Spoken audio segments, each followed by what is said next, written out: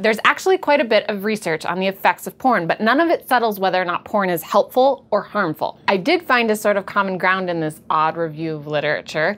The effects are not a result of the porn, they're a result of the people. In the words of sociologist sexologist Ira Reiss, our reactions to sexually arousing films or books provide insight into our personal sexual attitudes. What we are really reacting to is not the objective material, but rather a projection of our own innermost feelings concerning the type of sexuality presented. Take, for example, this glass of water. I'm going to put yellow food coloring in it because this episode's about porn. The question is often, does porn cause aggressive sexual tendencies? Dr. Reiss is suggesting that's like asking if water causes things to float. If we just put a cork in there, then the answer will be yes. But what about a lollipop? A key or battery. I know, displacement, density, but in this water, these things, most things in this room would not float. Because, like tendencies of sexual aggression, it's not an effect of porn, it's an effect of personal sexual attitudes. You wanna know the effects of porn? Depends on who is going in the water. So who? 50 to 99% of men consume sexually explicit material. 67% of them think it's acceptable behavior. 30 to 86% of women consume it. 49% of them think it's acceptable. 90% came in contact with it by age 16, 50% by age 11. I'll give you a moment with these stats.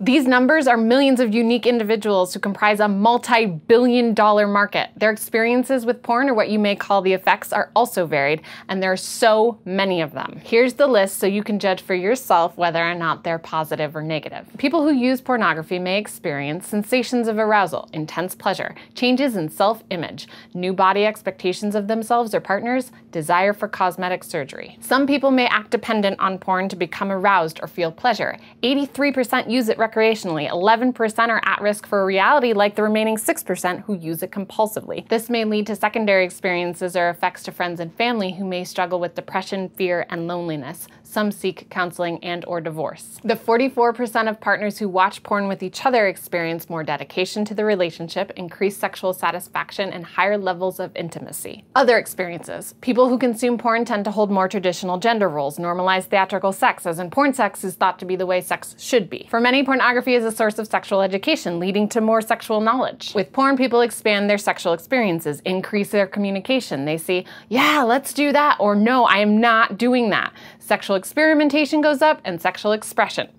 Some doubt if their own sexualities are normal and adequate. Others may feel cheated by not having the sex lives of porn stars or partners like porn stars.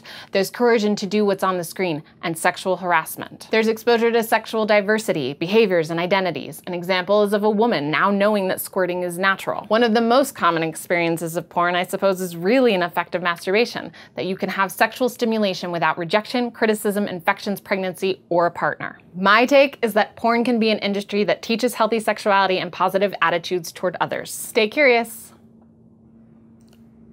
This episode was funded by generous support from viewers like you. Check it out, Patreon! To thank you for making Sexplanations possible, I asked which topic I should explain, and the effect of the vote was the effects of porn. Thank you to everyone for the cool opportunity to stay curious. It is like porn, see, you get wet.